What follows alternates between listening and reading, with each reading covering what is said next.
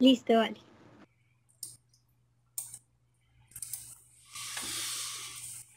Hoy es 3 de noviembre del año 2021. Listo. Ahora sí, ¿qué estás dispuesta a cambiar hoy? Te voy a leer. Tengo... ¿Me escuchas? Sí, estoy escuchando. Ok, te voy a leer em, las cosas que, que me gustaría cambiar. Mira, Pero se ¿Cómo hago gustaría- para... Momentico, ¿cómo así que mira si no la veo? Usted quitó la imagen. no, sí, sí, pero es que como las tengo guardadas en notas, cuando ya vuelva Ah, a la bueno, cámara listo. ya me vas a Entonces, ver. entonces ahora sí, mientras tanto. no voy a mirar, voy a escuchar. Listo, vale. Eh, quiero trabajar el miedo al fracaso. Miedo al A veces fracaso. me da miedo como no lograr lo- mis expectativas. Caso, no lograr. Eso no lo logró ni Dios. Tienes razón. También quiero trabajar. Tú me dices para cuando pueda, pueda, pueda cambiar las, la- Siguiente. las preguntas. Listo. Miedo a la soledad. Ya es algo que ya he venido trabajando un poquito más, pero no sé por qué a mí me da miedo como que no estar sola en un lugar solo, sino como de, digamos, de a veces buscar amigos que en realidad no me van a ayudar para, del todo para ser quien quiero ser, sino como, como tener que rellenar espacios. ¿Sí me hago entender? Sí, que no me ayuden a quien... qui- Y es que ¿quién quiere ser? Pues como cualquier persona quiere ser una persona muy exitosa, que digamos, ejemplo, en mi caso, el éxito no lo rijo por los logros o por las metas como económicas o en estudios, sino como en, en una excelente persona, una una- un buen ser humano. Entonces, pues son personas que al final del día yo siento que en realidad si yo estoy con ellas a largo plazo, mucho tiempo de amistad, siento que, pues sí, lindo, chévere, la recocha, la amistad, pero siento que al final del día no me van a no me, va- no me van a ayudar a nada a esa, a esa amistad, no me van a ayudar a construir entonces, lo que yo oiga, quiero construir. usted se va a quedar sin amigos entonces. Porque Jesús, que tenía poderes parapsicológicos, Jesús que tenía la intuición muy desarrollada y escogió 12 y todos 12 le fallaron, los 12. Ahora lo cual es 12, sí. Judas dicen que lo traicionó. Pedro dijo que no lo conocía, el mentiroso ese, el embustero. Y los otros 10 ninguno le a cargar la cruz. Fuera de eso tenía siete hermanos y no creían en él, dice la Biblia. En fin, yo le he ido a buscar amigos que le ayuden a alcanzar el éxito, pues está como difícil. Listo, ¿qué más vas a Pues no cambiar? es exactamente como buscar el éxito. ¿Me estás viendo bien? Para, Sí. para, para cambiar tal vez a datos. ¿Me estás viendo bien? Sí. Sí, te veo bien. Pues no exactamente alcanzar el éxito porque yo sé que eso lo hago, lo hago yo, sino que es que siento que son personas que digamos esto, digamos ejemplo, yo sé que Julanita de tal es muy mentiroso conmigo y yo sé que en realidad eh, no valora, digamos, no, no valora la amistad que tengo y prefiere, digamos, mentirme o sacar etcétera, etcétera de cosas. Un ejemplo. Sí, Pero, pero, un pues, momento, un momento, un momento, que usted en ese ejemplo no se está dando cuenta que le está mintiendo. Porque usted estuviera dando cuenta, entonces, ¿cómo le está mintiendo si usted está dando cuenta? Pues por eso, porque me quedo con personas que en realidad sirven. Bueno, no, no, no, no me sirven, sirven es una palabra fea, pero me estoy queda- bueno, me estaba quedando con personas que en realidad yo me daba cuenta que estaban siendo, pues, mentirosos, groseros conmigo, cuando yo no soy así con ellos. Ah, no, es que, es es eso. que uno no tiene que ¿Sí me ser con entendí? nosotros como los otros son como uno. Entonces, si yo tengo un amigo que es Por violador, eso. yo también tengo que ser violador. No, por eso, por eso. Ellos son así conmigo, entonces a mí no me gusta porque yo no doy eso. Entonces por eso es que yo eh, quiero trabajar ese, ese miedo como a la soledad para no juntarme con, o bueno, para sentirme tranquila porque a mí, a mí me genera una intranquilidad chistosa sentirme, sentirme que no tengo, no tengo amigos. Es más, hubo un tiempo en mi vida donde me desapegué de todo el mundo y aprendí que en realidad, digamos, los únicos amigos que me van a quedar para toda la vida son mis papás. Ah, sí, tus papás, usted sí, porque usted tiene Son dos las papás. personas que en realidad me dan, tengo como cuatro. Entonces, entonces eh, es más que todo por eso. Por eso te comento que es un miedo que ya lo he trabajado, pero pues es como esa vaina de sentir que eh, hay gente que en realidad te está, te está demostrando que es una mala persona contigo porque una buena persona no te miente, una buena persona no te engaña, una buena persona no es así, así, así. Pero pues a mí me da como esa cosa, como ese miedo de quedarme como eh, sin, sin alguien con quien contar, aunque ya sé que ya tengo mis papás. Sí, pero no podemos contar con sus papás porque ellos se van primero que usted. Él ya tiene 50 años, pues usted tiene 18. No vamos a cambiar eso para que pueda conseguir amigos porque no lo va a poder conseguir con todo ese montón de condiciones que está poniendo. ¿Quién tiene ese perfil? oiga, pues, hasta, Jesús. yo sí tengo amigos, yo sí tengo amigos. Hasta Jesús dijo una mentira. Y es Jesús y dijo una mentira. Está en el Evangelio de Juan. Sí, pero no se comparan las mentiras que, me, han dicho a mí con las que le han dicho o la que Jesús pudo llegar a decir. Bueno, ¿qué más vas a la gente, Con las manos de me cargo como que la gente se aprovecha ya como de lo de lo que uno es, como que tan noble, como que tan chiquito que se aprovechan. Entonces, es eso. Bueno, ¿qué más vas a cambiar hoy? Bueno, espérame eh, el miedo al que dirán. ¿El miedo a qué? también lo he trabajado. El miedo al que dirán. Ah, no, y con seguridad, ¿qué van a decir? Ve a esa muchacha como pone condiciones. Miedo al que dirán. Eh, también tengo mm, el miedo de perder el control de las cosas. Y yo sé que es querer controlar las cosas así es malo. Por eso estoy aquí. Vea, empezando porque ya con eso que dijo, nadie va a querer ver televisión con usted. Ábrele, ¿por qué no van a querer ver televisión conmigo? Porque usted se apodera del control y no lo quiere soltar. No, tampoco así. O sea, digamos, eh, o sea, cuando yo me refiero al control de las cosas, no me refiero, no me refiero, digamos, de, de, ¿cómo te explico? No me refiero al hecho de querer controlar las acciones de los demás, sino que, digamos, ejemplo, dentro de poco yo viajo. Viajo para Estados Unidos con mi mamá, para, para vivir ya con, del todo con mi mamá Lady, la que yo te mencioné, mi mamá biológica. Y digamos, pues en todos estos trasteos y todas estas cosas, eh, pues lógicamente hay papeleos y hay situaciones que en realidad eh, se salen de las manos de uno, que ya tienen que ver con, con las embajadas y eso. Entonces a mí me, me daba miedo que por alguna razón un papel no saliera cuando tenía que salir y se aplazara todo. O sea, ese es el miedo, no es como que en los demás, sino como en cosas que en realidad no puedo controlar. Estamos de acuerdo, como la lluvia, como el viento, como los terremotos, como los volcanes activos en Canarias. Hay cantidad de cosas que no podemos controlar. Ni tampoco podemos controlar a los demás. Listo. ¿Qué más vas a cambiar hoy? Em, también quisiera trabajar eh, pues no sabía cómo, cómo, bueno, quisiera también trabajar el apego emocional que puedo llegar a tener con ciertas personas, digamos, con amigos muy cercanos o con parejas y así. y, todavía no lo tiene y ya está preocupándose por eso. Preocupación. No, es que ya tuve, ya tuve parejas y me di cuenta que... ¿Cómo así que ya tuve parejas y apenas tiene 18 años?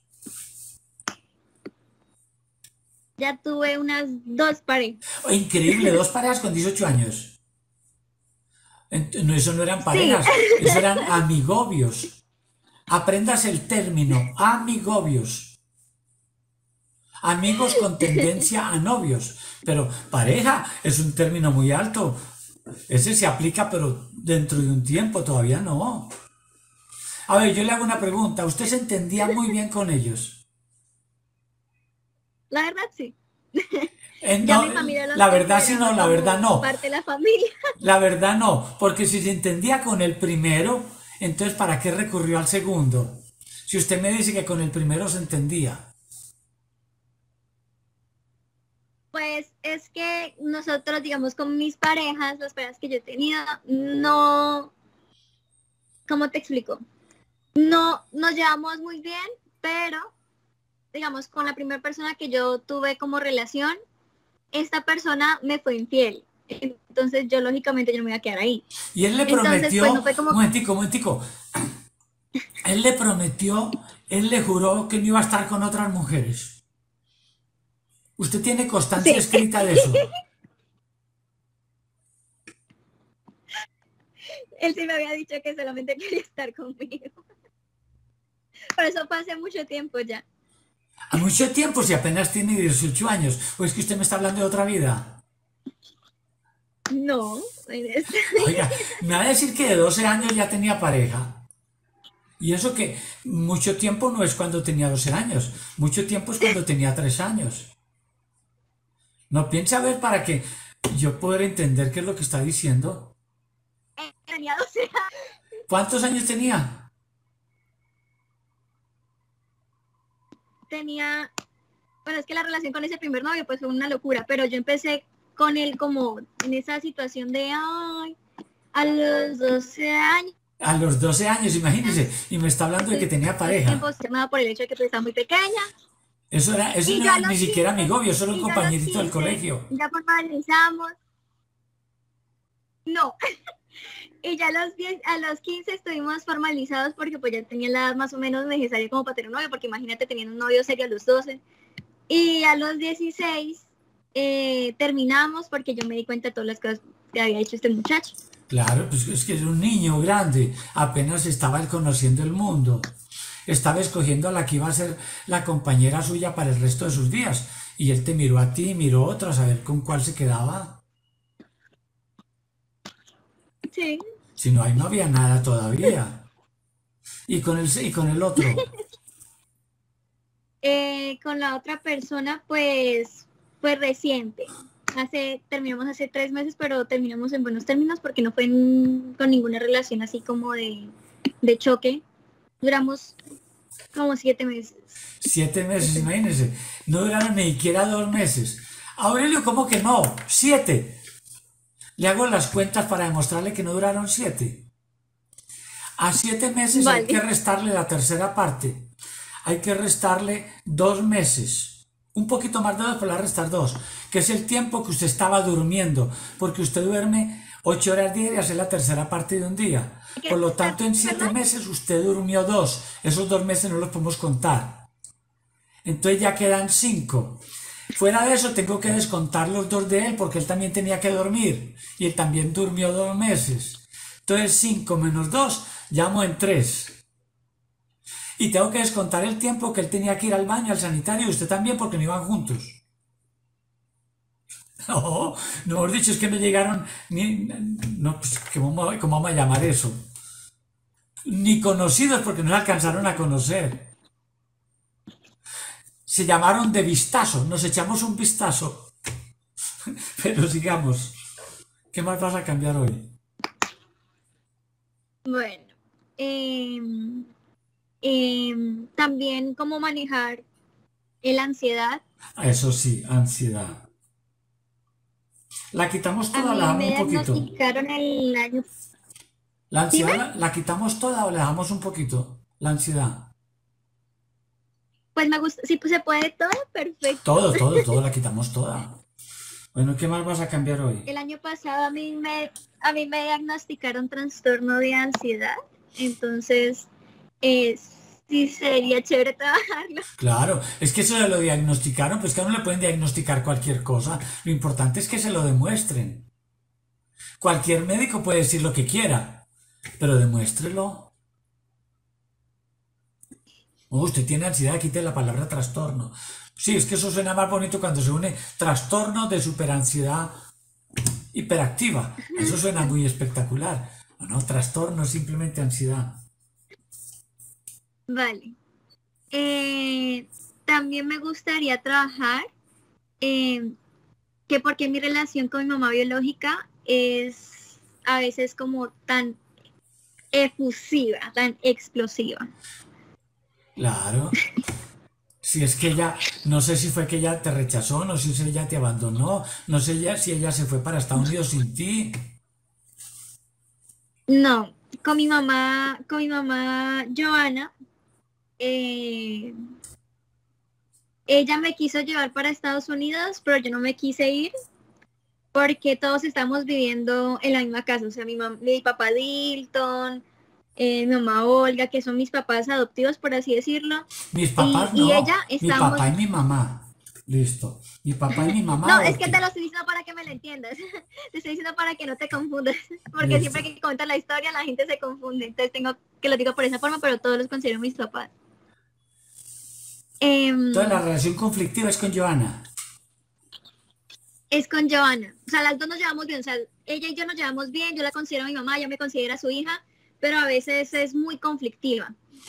muy conflictiva. Ay, es así. Usted misma acaba de decir, es que ella es conflictiva. No, es, somos, o sea, es como que la, relación es muy conflictiva. Aunque ella también es un poquito más que yo. Listo, ahora miramos eso. ¿Qué más vas a cambiar hoy? Vale. Em, el, la raz, o sea, también eh, me gustaría trabajar en poder enfocarme en las cosas. O sea, como que, digamos, eh, a mí me cuesta mucho enfocarme en un solo tema. Siempre eh, me voy por las vértices o no lo logro concretar bien. Es que una mujer es muy difícil que se concentre en un solo tema. Las mujeres son multitarea, multicanal. Están viendo la novela, están haciendo el almuerzo, están barriendo al mismo tiempo, están hablando por teléfono celular con una amiga, todo al mismo tiempo. Me cuesta mucho enfocar en una sola cosa. Ajá. Listo. ¿Qué más vas a cambiar hoy? Este sí es muy, muy importante. Eh, me gustaría trabajar o saber por qué mi horario, mi horario de sueño está tan dañado. O sea, yo no duermo en la noche ya. Es una cosa impresionante. En el día? Duermo literalmente en el día. Ah, no, entonces usted consiga solución, tenemos, le tengo la solución. Usted me dice que en el día duerme y en la noche no duerme, se la pasa despierta. La solución, conseguirse un empleo de vigilante, de celador mis amigos me molestan con que, con que yo estoy perdiendo un talento. Claro, tiene talento como vigilante. Usted hace un curso de cómo manejar armas, le hace un cursito así rápido, le pone un uniforme, una gorra aquí así. Y ya, solucionado. Mi horario de sueño está cambiado. Em, le tengo otra solución, le tengo el plan B. Ese de vigilante es el plan A. Le tengo el plan B. En vez de Estados Unidos, váyase para China. En este momento en China están despiertos trabajando por el horario. A mí mis amigos también me dicen que yo estoy, que no es que yo esté durmiendo mal, sino que estoy mal ubicada geográficamente. Sí, estamos de acuerdo, no estaba yo tan equivocado. Y la China, usted aprende, el chino mandarín lo aprende rápido. bueno, te va, voy a seguir. Em, desde muy pequeña em, sé, y me han dicho otras personas muy espirituales, que tengo dones, entonces me gustaría saber por qué tengo dones como la clarividencia, etcétera, etcétera. Tengo dones. ¿Y para qué quiere saber por qué los tiene? Más bien averigüe para qué los tiene. ¿A quién tiene que ayudar con eso? Sí, también. Aunque pues me gustaría saber por qué, digamos, o sea, me gustaría, me gustaría saber más del tema. ¿Para qué o por qué? No. El por qué es del pasado. ¿Por qué mis maestros me dieron esos dones? Y el para qué es del futuro. ¿Para qué los debo utilizar? Imagínese pedirle a sus maestros que le expliquen a usted por qué le dieron dones. Eso ya es tener el ego muy alto. Para chismosear un ratico. No, más bien utilízalos para ayudar a los demás. Listo, ¿qué, más vas, ¿qué más vas a cambiar hoy? Em, esto no sé si tiene que ver mucho con, con con los dones, pero porque a mí las injusticias sociales me afectan tanto. A mí me afecta, me afectan muchas cosas que veo que pasan en el universo, en el mundo en general, y a mí me afecta mucho. Digamos, cuando fue lo del paro, digamos acá en Colombia, un ejemplo. A mí me afectaba mucho ver como la gente como tan triste y tan, tan dañada, básicamente. O me afecta, digamos, ver cuando no, o sea, me afecta, me afectan todas las injusticias sociales, me afectan mucho. Me duelen, me duelen. Es una cosa que mis papás dicen como Juana ya y yo algo como, como que algo dentro de mí no, no, no comprende porque hay tanta cosa tan mal en el mundo. no será para que tú ayudes un poquito a arreglar eso. Por eso se supone que estás estudiando psicología, para ayudar a arreglar un poquito eso, un poquito. Poner un granito. Claro, pero digamos ejemplo, eso es con los humanos y hasta con los animales. A mí me afecta, digamos, últimamente estoy en la transición. Cuando yo era más chiquita yo era vegetariana. Cuando fui creciendo se me fue olvidando eso y volví a consumir carnes hasta hace unos meses que volví a recuperar como la como la conciencia un poco y eso. Mire, en el, año, en el año 1962 asumió la presidencia de Estados Unidos el presidente John Fitzgerald Kennedy. Y dio un discurso famoso, más o menos resumido así, súper resumido. Ciudadanos, ahora que asumo la presidencia de Estados Unidos, soy consciente de todo lo que ustedes exigen, de todo lo que ustedes le piden al gobierno, de todo lo que ustedes quieren que su país haga por ustedes. Soy consciente de que se quejan de los servicios aquí, de las cosas allá. Yo sé todo eso. Pero yo les pregunto, ¿qué están haciendo ustedes para cambiarlo? Y le tapó la boca a todos y terminó el discurso. Sí, usted puede quejarse de las injusticias de todo el mundo, de Colombia, de, eh, eh, pero ¿usted qué está haciendo para arreglar eso, para cambiarlo? Ahora es pues que no se puede. Y hago cositas que puedo. Vea. O sea, lo que está en mi mano yo sí lo hago. Aurelio, pues que es una tarea muy grande, eso no se puede. ¿Yo qué voy a hacer sola? Vea, hubo, porque ya murió en la India, un viejito. No tenía ni musculatura, tengo más musculatura yo desgarbado, unos lentes así de vidrio redondo. A veces se ponía túnica, a veces él mismo se ponía a hilar la ropa de él, a coserla, en una maquinita de mano de madera. Y se propuso expulsar al ejército inglés de la India. Y resulta que Gandhi no tenía ni una navaja. Y la idea de él era expulsar a la artillería a la aviación, a la infantería. ¿y eso cómo se puede si él no tenía ni una navaja?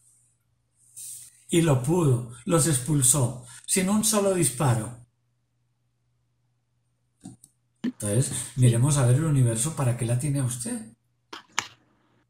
Para que cambie eso que está diciendo. Eh, esto ya es más físico, eh, me gustaría saber porque a mí, bueno, eso tiene esa, enfermedad tiene un nombre, pero a mí no me han diagnosticado, entonces yo no voy a decir que la tengo, pero a mí me sudan gotas, me salen gotas de las manos, de sudor. Siempre me sudan las manos y los pies. O sea, no me suda otra parte del cuerpo, me suda excesivamente las manos y los pies. Me sudan las manos y los pies. Pero es que es excesivo, me salen las gotas de, agua, básicamente. Parece que Jesús también sudaba. Yo no sé si la mano de los pies, pero es famoso el sudario de Turín. El sudario. Imagino que viene ahí de lo que sudaba Jesús. Busquen en internet, le queda como tarea. El sudario de Turín. Ah, usted tiene internet. Métase ya y busque el sudario. Y eso era de, dicen que era de Jesús. Sudario de Turín. Sí. De Turín. De Turín. Ya.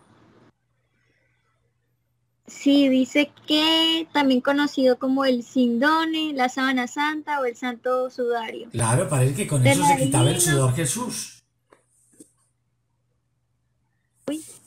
Listo, sigamos, ¿qué más? Voy.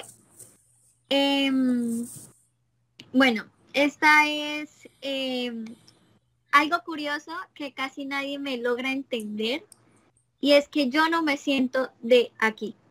Yo no me siento de este mundo. yo no me siento de aquí.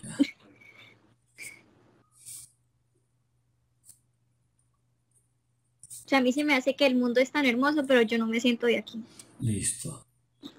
Más raro. No, raro, porque raro, si es que el universo es muy grande, usted viene de otros rincones del cosmos, a lo mejor le gustó mucho en la última parte que vivió. Pues sí. Listo, ¿qué más vas a cambiar hoy? Eh, eh, también me gustaría saber eh, si yo conozco algún, algún ser querido mío de otra vida. Digamos un ejemplo. Yo sé que todo el mundo, los, hay muchos padres de familia que adoran a sus hijos. Y yo sé que hay hijos que también adoran a sus papás, pero hay algo con mi papá Dilton, mi papá adoptivo, para que me entiendas, que pues sigue siendo mi papá, pero pues yo le digo adoptivo para que me entiendas mejor. Yo siento que con él yo tengo una conexión distinta. O sea, yo entiendo que todo, o sea, yo, yo cuando explico esto a una persona común y corriente, la gente dice, sí, es que todos los hijos aman a sus papás, es que todos los papás aman a sus hijos, pero es que yo siento que yo a mi papá lo conozco desde antes, o sea, lo conozco como, no sé, no hay palabra. Listo, ahora averiguamos. ¿Qué más vas a cambiar hoy? Así. Ah, em, mi, mam mi mamá, estas cosas que yo te estoy comentando acá, mi mamá me ayudó mucho a hacerlas. Y mi mamá también me había dicho eh, que yo, bueno, yo siempre he tenido curiosidad por la astrología, por lo que pasa afuera, por todas esas cosas. Entonces, pues, no sé si tenga que ver con alguna vida pasada o, tenga que ver algo que relacionado con que no me siente acá, pero me gustaría saber por qué me gusta tanto la, la astrología. Sí, pero usted me dice que eso lo organizó con su mamá. O sea, no, o sea, ¿cómo te explico? Mi mamá, yo le dije, mami, que, porque mi mamá, mi mamá Joana, mi mamá Joana, ella ya tuvo una cita contigo hace un tiempo, no me acuerdo hace cuántos años, no me acuerdo si fueron meses, pero ella ya me dijo que ya había tenido una cita contigo. Y entonces ella me dijo, Juanis, pues mira, tú puedes, ¿qué, qué, quieres, qué miedos tienes? Entonces ella me, yo le dije, no, mami, pues mira, este, este y este y este. Entonces ella me dijo, sería, ¿sabes? ella me dijo, ¿sabes qué sería bueno que le preguntaras por qué te gusta tanto la astrología? Porque pues con nosotros conectando escaleras, nosotros dijimos, pues, pues puede ser que, sea algo que nosotros no sepamos aún. Entonces por eso te comenté eso. Pues yo se lo respondo de una vez, porque todo su cuerpo está hecho de átomos que vienen de distintos renglones del cosmos. Todos los días caen a la Tierra meteoritos, todos los días cae polvo cósmico. O si no, ¿cómo se explica que esas pirámides, que la esfinge, que esas tumbas de Egipto estén cubiertas de arena, por muchas cosas. Primero, por la arena que soplan los vientos en ese desierto. Entonces va tapando, va tapando. Y segundo, porque cae polvo cósmico todos los días desde hace millones de años. Aerolitos que vienen de rincones lejanos del cosmos, de donde tú eres, seguramente que también han venido rocas. Por lo tanto, tu cuerpo está hecho de átomos del universo. Bueno, eh, ¿qué más vas a cambiar hoy? Luego dejamos que sea tu mente no consciente la que decida la prioridad de lo que hoy vas a trabajar. Ok. Eh, también te quería, eh, quería también trabajar porque a veces siento que, o sea, yo soy una persona muy emocional, pero a mí me rige también mucho la cabeza. Muchas personas les pasan que la cabeza les dice, eh, no puedo, tengo miedo y el corazón es el acelerado. A mí me pasa al contrario. mi cabeza me dice, Juana, eh, son cosas que pasan, tienes que dejar y mi corazón es como, no tengo miedo. Mi corazón es como, como el que está como congeladito a veces. Entonces, ¿por qué me cuesta tanto conectar con mis, con mis emociones a veces? A veces, no es siempre. Pero... Pues la gran mayoría de situaciones que, me, que son importantes para mí, yo las aprendo más con la cabeza, con el corazón, porque el corazón tiene miedo. Oye, ¿usted qué quiere cambiar? Hoy le ayudo. ¿Quiere conectar más con el corazón a partir de hoy? Sí, quiero tratar de que mi, mi cerebro y mi corazón tengan una mejor relación porque en realidad siento que es como si estuvieran dos cuerpos aparte, como si no estuvieran en el mismo lugar. Quiero que mi cerebro y mi corazón se entiendan, que tengan mejor relación. Exacto. Que no tengan una relación disconforme. Quiero que mi cerebro y mi corazón sean buenos amigos. Y la última que ya tengo es eh, por qué me gustan tanto las mujeres. A mí me gustan también, a mí, me gusta, a mí me gusta todo y no es algo que yo quiera dejar porque en realidad yo no le miro problema a eso. Pero mi mamá sí me dijo que eh, mi mamá, mi mamá. No, mi, su mamá tenía que hacer otra regresión ella. Me gustan mucho las mujeres. Y qué curioso, a mí también. O sea, que usted y yo pensamos parecido. Sí. Entonces, ¿qué hacemos? ¿Que no le gusten? No, no, no, ah, es algo que yo me siento bien. Es que lo que yo me refiero es de que aquí es donde yo iba a decir mi mamá. Mi mamá me había dicho de que eh, puede haber una explicación para eso. Yo en realidad no siento que tenga que haber alguna explicación, porque siento que es algo que simplemente no le gusta y ya. Pero ella me dijo que preguntara y pues ya estoy aquí, así que pues. Ah, pues ahora averiguamos Yo sé que en algún momento va a mirar la grabación y me va a decir, a usted no la dijo. Ahora usted no le preguntó. Bueno, ¿quién se ha muerto que te haya querido? Em, ya te digo, mi abuelo Martín, mi tío Carlos Eduardo y mi abuelo Bernardo. Listo. Entonces vamos a hacer una pausa en el video y empezamos. Ok. Hago un corte.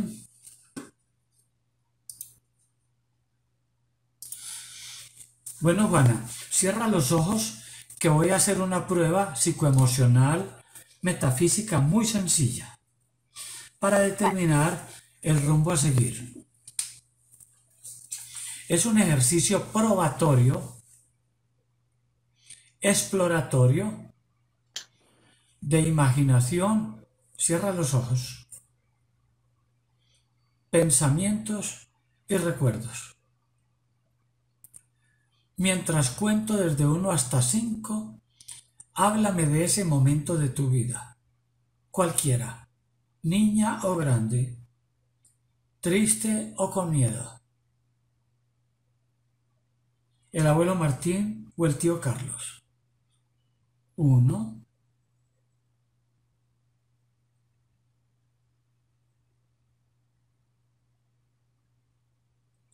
Dos.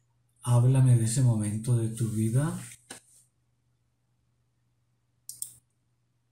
un momento triste en mi vida. Sí. Em, un momento muy triste en mi vida fue cuando estuve, cuando me quedé sin amigos, básicamente, y me sentía muy boja. Cuando ansiedad me ganando y pues me quedé sola y me di cuenta que mi familia eran las únicas personas que tenía, que en realidad las personas que en realidad me iban a querer más. ¿Y cómo sabes que te quedaste sin amigos? Todos te escribieron WhatsApp y te dijeron, Juana, no cuentes más con nosotros.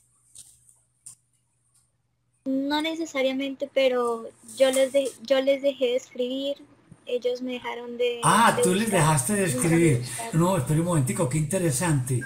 Yo les dejé de escribir. Ahora sí, dígame usted. Yo me alejé por sí. ¿Ah? Yo me alejé por sí, pero ellos tampoco eh, tuvieron interés de buscarme o saber si estaba bien o qué había pasado. Y fueron por unos tres meses. No, porque fue usted la que tomó la decisión y no les dio explicaciones. O usted les dio explicaciones. Pues siento que en realidad como que ellos están muy acostumbrados a no preguntar cosas.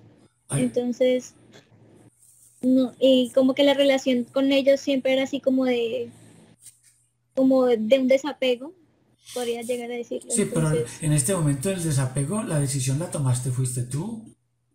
Yo les dejé de escribir.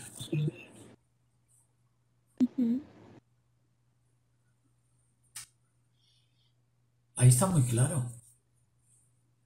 Sí, pero también yo me alejé porque me di cuenta que eran personas que están hablando mal de mí, eran personas Entonces no eran amigos. Entonces, ¿cómo así que se quedó sin amigos si usted misma está reconociendo que no eran amigos?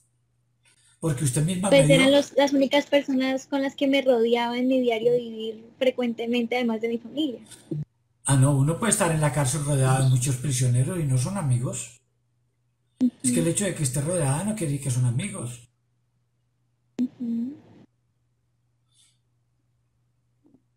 Y eso fue como la gran experiencia que tuve porque me di cuenta que ellos en realidad no eran mis amigos, eran conocidos con las que me pasaba teóricamente bien en unos momentos. Ah, no, no, entonces no diga me quedé sin amigos. Cambie eso por otra cosa distinta. Todavía no he conseguido amigos.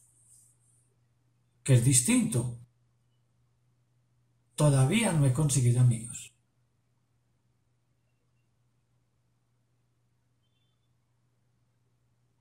Vamos a preguntarle al tío Carlos qué opina.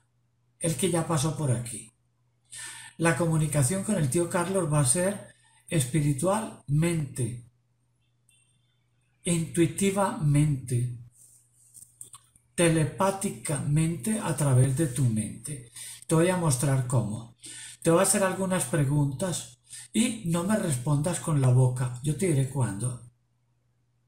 ¿Cómo te llamas? ¿Cuántos años tienes? ¿Dónde naciste? ¿Has estado alguna vez en Neiva? Ahora sí te pregunto y me respondes vocalmente. ¿Pensaste las respuestas? Perfecto. Así es como el tío Carlos se va a comunicar, a través del pensamiento. Salúdalo y pregúntale cómo está. ¿En voz alta? Como quieras. Al fin y al cabo la comunicación con él es telepáticamente. Pues con él ya he hablado antes. Por eso yo quiero hablar también. Salúdalo y pregúntale cómo está.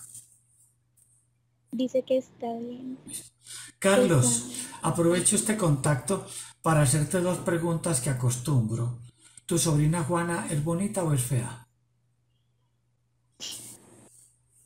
Dice que me parezco mucho a su hermana, entonces que es muy bonita. Listo. ¿Y es inteligente o es tonta tu sobrina? Dice que soy muy inteligente, que soy una pepa. Listo. Bueno, Carlos, ahora sí tu voto. Estoy hablando con tu sobrina inteligente y bonita acerca de lo que es la amistad. Explícale a tu sobrina inteligente y bonita lo que es la amistad. Que ella no empiece a llamar amigo, amigo, amigo a cualquier zumbambico que se le acerque. Te va a decir exactamente lo que él me está diciendo. Exacto, para que quede grabado. Él dice que es algo que yo debo empezar a aprender, que pronto voy a tener amistades muy lindas, muy sinceras, que me preocupe por eso, que no que me tapas. Carlos, estamos de acuerdo. Tu sobrina apenas está empezando la vida. Eso que le acabas de decir está muy bien. Que no se acelere. Dice que estoy muy pequeña todavía. Imagínate. me preocupe por eso. Carlos, yo le hice las cuentas hace poquito a tu sobrina, apenas está empezando. Bueno, Carlos, voy a leer lo que escribí con tu sobrina, a ver qué le dices en cada caso. Vale. Tenía miedo al fracaso, a no lograr mis expectativas. Pero es que tu, tu sobrina apenas está empezando las expectativas. Le faltan todavía 72 años de vida que ella tiene miedo de no lograr las cosas que se propone porque tiene metas muy grandes, pero ella las va a lograr. Claro, pues que en 72 años es mucho lo que va a lograr. Todo eso le falta. Entonces, grábale eso en la mente y en el corazón, Carlos.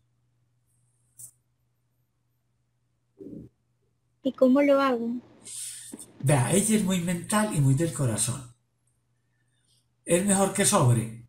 Grábale ese mensaje en la mente y grábale eso en el corazón que va a lograr muchas cosas, que ella es capaz, que no se acelere, que apenas esté empezando, que no llame amigo a cualquier zumbambico que se le atraviese en el camino.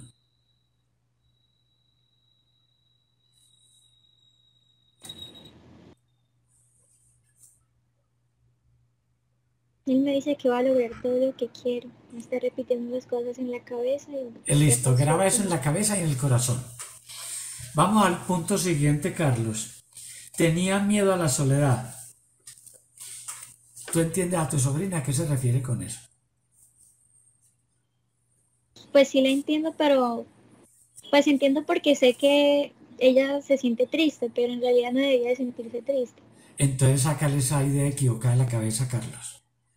Como dicen los jóvenes, cámbiale el chip. Cámbiale la aplicación. Como dicen hoy en día, hablando de celulares. Creo que llegó otra persona. Salúdalo. Pregunta que si es el abuelo. Bernardo. Es el abuelo Bernardo. Entonces salúdalo. Dile a Carlos que espere un momento que vas a saludar al abuelo. Espérame.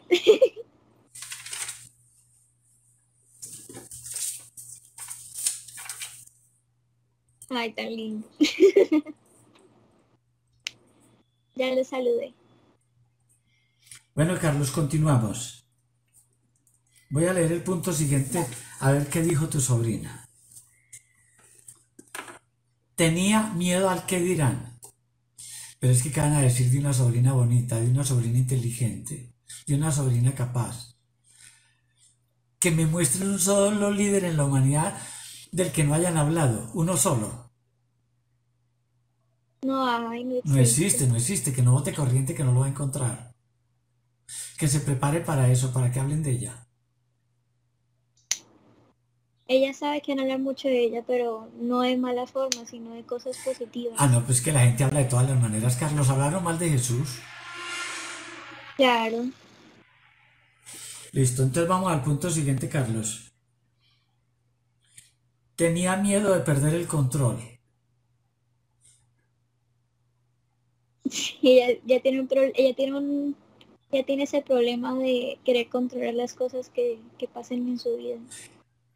Entonces, ¿qué hacemos, Carlos? ¿Le quitas el control o le enseñas a manejar el control? Ella tiene que aprender a manejar las cosas. Entonces, dale un curso intensivo ultra rápido mientras tomo café, cómo manejar las cosas.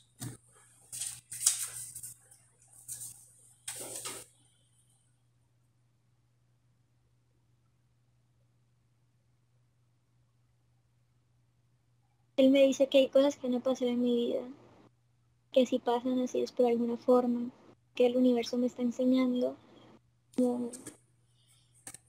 a entender que todo es por un plan divino.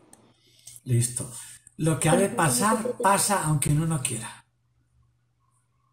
Listo, punto siguiente. Tenía ansiedad. ¿Qué estaba causando eso en tu sobrina inteligente, bonita y capaz? Es que se preocupó de más. Es algo que ella solamente tiene en la mente. Claro, preocupación. Pre, una raíz latina que significa antes de. Y ocupación es ocuparse de cosas que todavía no han sucedido. Como quien dice, es secarse antes de tirarse a la piscina. Es bañarse antes de ensuciarse. Exceso del futuro. Exceso del futuro, estamos de acuerdo, Carlos. Entonces, Carlos, retira ese exceso del futuro. Que disfrute más el ya, el ahora. Por eso se llama presente, porque presente significa regalo. Entonces, que disfrute el regalo.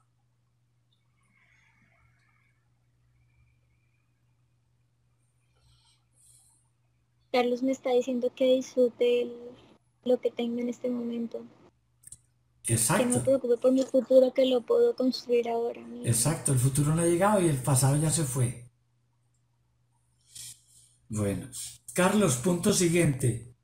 Relación conflictiva con, con Joana. ¿Qué hacemos ahí con este par de viejas, Carlos? No, es que los dos son muy conflictivos. Ah, no, imagínese un par de viejas juntas, Carlos. Es como un par de loritos en el zoológico. No los aguanta nadie hablando a ese par de loros. Mi hermana Joana es muy... es un fosforito. Y la otra se le parece bastante. Ah, no. La otra es más calmada. Juana es más calmada, pero mi hermana es más, más fiera que ella. De tal fosforito, tal palo con cabeza. Así es. Bueno, entonces, ¿qué consejo le das a tu sobrina linda, inteligente y capaz? Que ella no puede controlar, así como hemos dicho antes, ella no puede controlar las acciones de los demás, pero ella sí se puede controlar a ella. Listo. Punto siguiente. Me costaba mucho enfocarme en una sola cosa. Ana tiene mente para todo. Para todo. Pero ella se le está olvidando muchas cosas. Ella tiene muchos talentos, muchas cosas, pero le falta disciplina para poder concentrarse en, claro. en lo que en realidad le sirve. Mi abuelo decía, un lugar para cada cosa y cada cosa en su lugar. Un tiempo para cada evento y cada evento a su tiempo.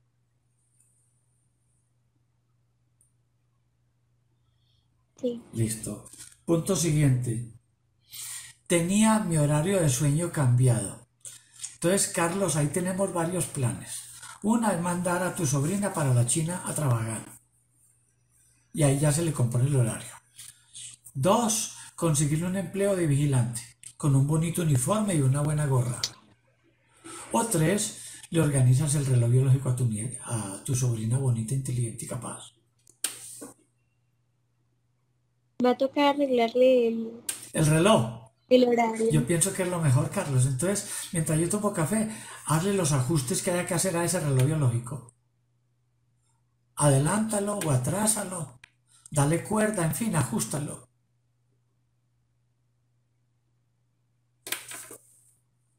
Que coincida con el meridiano de Greenwich.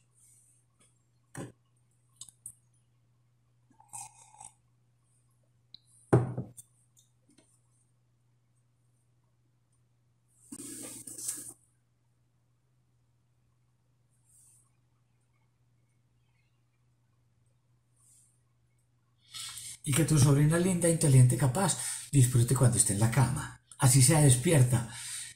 Que entienda que en ese momento hay niños que están debajo de un puente aguantando frío, cubriéndose con cartones. Que hay gente mojándose porque el techo de su casa pobre está lleno de agujeros y gotea. Ella sabe todo eso. Pero que lo aplique. Carlos, conocimiento que no se aplica, conocimiento que se pierde. Es verdad. Es que lo aplique.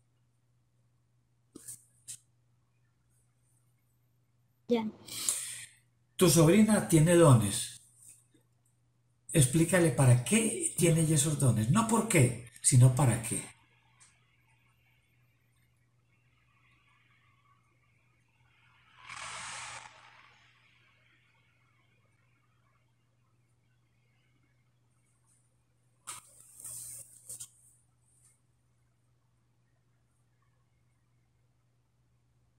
No entiendo bien la respuesta.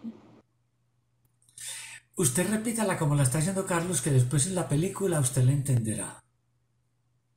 Cuando le Dice que son cosas que aún no entiendo. Es algo que aún yo no comprendo, pero que en el futuro voy a tener la capacidad de entenderlo bien. Él tiene toda la razón, que primero tienes que madurar más para poder trabajar con los dones que tienes. Que son cosas que yo todavía pues no sé si decir que todavía no estoy preparada para entender, pero que eh, todos esos dones son, son fuerzas que yo voy a tener para ser grande como... No sé por qué me dice que un dragón, pero él me dijo eso. Porque... Y veo un dragón dándome unas vueltas acá. Ya te lo voy a explicar. Hace muchos años, una frase que se hizo popular en ciertos ambientes fue, cuando la China y su dragón despierten, temblará el mundo. Porque el dragón es el símbolo de la China. Y entonces decían, cuando el dragón de la China despierte, temblará el mundo. Y ya está empezando a temblar. Ya se están dando cuenta del poder de China. A eso se refiere tu tío. Cuando despiertes tu dragón interno, temblarán muchos. Yo no, porque no le tengo miedo a los dragones. Y además yo mantengo un extinguidor a la mano por si ese dragón le da por tirarme candela. ¿Listo? Entonces vamos al punto siguiente. Me afectaba lo que pasaba en el mundo.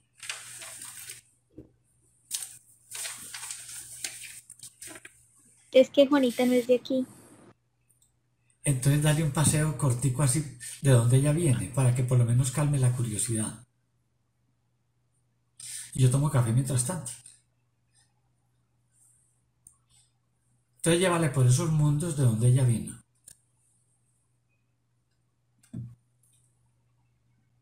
Es como un planeta blanco. Como una civilización como como con mucha naturaleza, pero también como con mucha tecnología.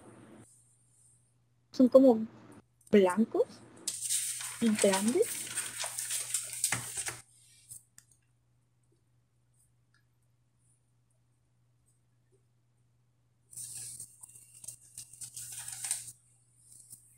Como con cuerpos como atléticos.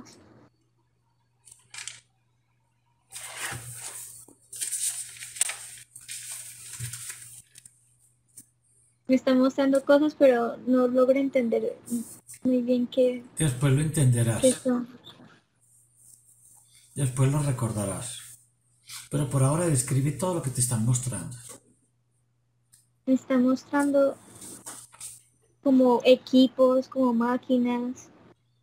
Pero también al lado de estas máquinas hay como un, pues no sé si decirlo océano, pero veo como un océano, pero lleno de tranquilidad y veo muchas rocas y animales, pero de especies raras que no son de acá.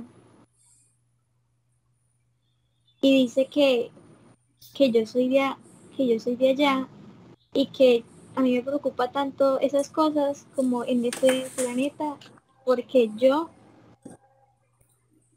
quiero como que como que a mí nunca se fue como esa cosa de tener esa tranquilidad que tenía en mi casa, en mi hogar, en mi planeta. Entonces quiero transmitir como esa, como que esa paz acá, de alguna forma. ¿Te gusta? Estamos también como naves y eso. ¿Te gusta tu planeta? Sí, se siente tranquilo, siento paz. Entonces toma la parte de la tranquilidad y aplica lo que puedas en la tierra. Al fin y al cabo viniste a cumplir una misión aquí. Tú vieras cómo me está, siento que me está dando vueltas la cabeza, como si estuviera dando, como si estuviera en un remolino. Toma de allá todo lo que te sirva aquí.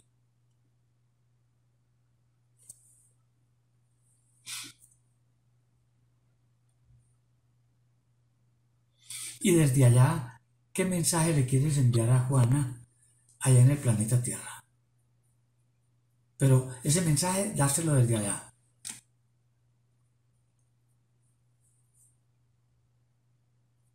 Que lo que ella quiera hacer lo va a conseguir y que no se preocupe. Entonces grábale eso en la mente y el corazón.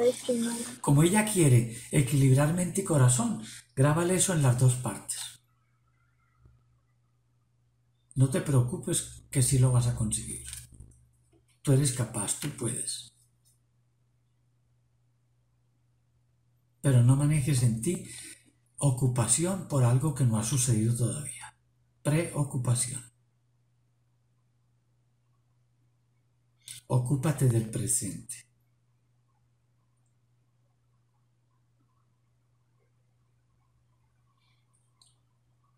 Aprovecha que estás en el planeta y analiza el cuerpo de Juana en la vida actual, aquí en el planeta Tierra, y encuentra que estaba causando el sudor en las manos y los pies. el corazón, la mente y como por acá. Entonces le armonizas eso a la terrícola. O se lo enseñas a aceptar, cualquiera de las dos cosas que hagas.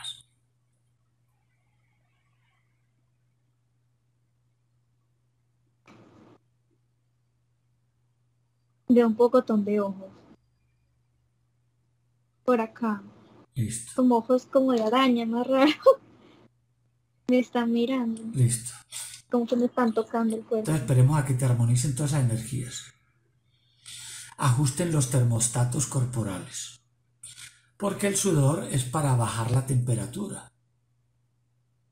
Es el medio natural. Si te ajustan la temperatura, entonces ya el sudor de momento no lo necesitas. Solo en un caso que sea necesario. Entonces que te ajusten la temperatura corporal. Lo están haciendo. Y es chistoso porque veo los ojos, pero veo como al fondo una luz blanca. Y veo que se hacen chiquiticos, chiquiticos, hartos, varios, se hacen chiquitos y se van acá, acá. Es chistoso porque se vuelven muy diminutos. Esos serían drones de altísima tecnología. Los terrícolas tienen drones, pues son aparatos grandes que los llevan aquí, los envían allá, los meten por un hueco, por una caverna, para analizar. Aquí estamos viendo una tecnología superior. Dicen que ya. Listo. Entonces, punto siguiente.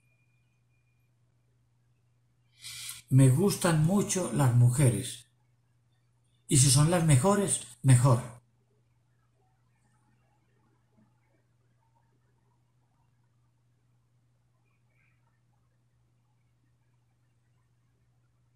que para eso no, no hay problema. Que por qué preguntas esas bobadas. ¿Para qué preguntas esas bobadas? Listo. Ahí me la regañaron. sí. Digo que no preguntaré esas bobadas, que hay cosas más importantes por las cuales preocuparme. Listo. Entonces, ya con ese regañito terminamos. Carlos, observa si falta algo por modificar en tu sobrina linda, inteligente y capaz. Nada ahorita. Bueno, entonces te encargas tú de despertarla bien feliz, bien llena de happiness por todo el body. ¿Sí o yes? Sí, ya le voy a ayudar. Bueno, entonces procede a despertar a tu sobrina linda, inteligente y capaz.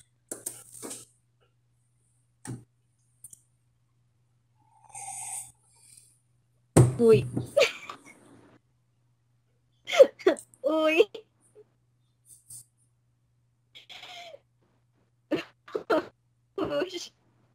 ¿Qué pasó aquí? Oiga, ¿usted por qué está tan feliz? Porque fue raro. Porque fue algo curioso. ¿Estás más feliz que una lombriz? Sí. Entonces te hago la pregunta que le hago a todas las lombrices. ¿Permites compartir esta experiencia con otras felices? Entonces podemos buscar un término medio. Te llenamos de cuadritos redondos la cara, que no te veas. Sí. Listo, entonces te llenamos de cuadritos redondos. Te pixelamos. Vale.